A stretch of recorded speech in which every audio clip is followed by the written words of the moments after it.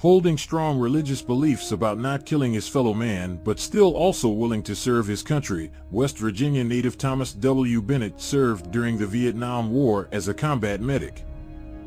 Bennett was a member of the 1st Battalion of the 14th Infantry Regiment in February of 1969 when his platoon came under heavy fire deep in the thick jungle of the Central Highlands of Vietnam.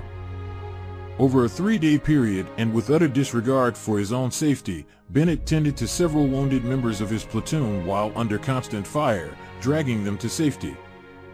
On the day he died, Bennett leaped forward to save a fellow soldier when he was fatally wounded. Bennett is only the second conscientious objector to be awarded the Medal of Honor. He is buried near his hometown of Morgantown.